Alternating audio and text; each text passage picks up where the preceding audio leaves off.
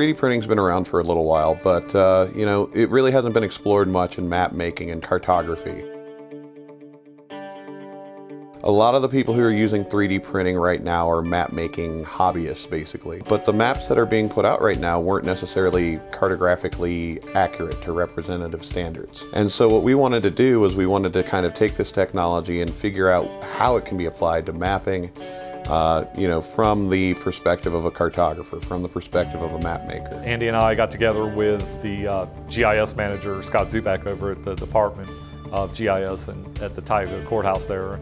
Um, we uh, basically discussed getting grant monies that were available for uh, the printer. Um, so that's kind of evolved into now that we have it, you know, how can we apply this? Um, so we've, we've basically been trying to engineer projects that we get the students involved in. The, the way the basic 3D printer that we have works is that it's um, basically has a, a monofilament type polymer that is spooled um, and it's spooled into the, basically uh, it's called an extruder, but it's basically a hot glue gun almost, if you will. If you uh, push the material in, it heats up at a certain temperature and then it sprays it. Uh, but the, it has a platform in the 3D printer that basically um, will move up and down as it builds that model. So the extruder will pass back and forth and it's on a, a z-axis where it'll actually move around. Um, but the, the uh, platform will move up and down.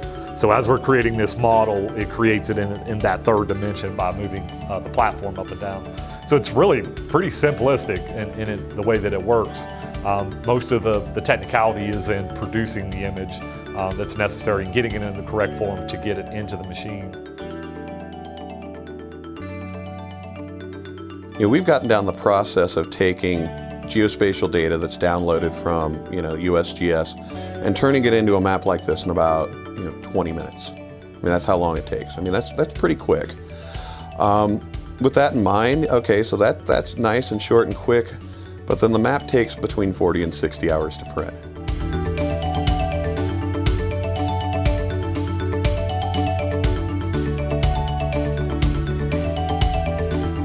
Uh, the first maps uh, would be the, the Grand Canyon. The desktop software will tell you it takes roughly 44 hours, but it's probably uh, 10 or more hours than that. We have a, a, uh, data share agreement with the GIS department for the county, and we take the, the contours that they, they provide us with and we turn it into a, a, digital elevation model. We put that into a 3D modeling program and displace a plane by it and it creates this kind of map and we export it as a STL and then we put that into the MakerBot desktop software and uh, tell it to print.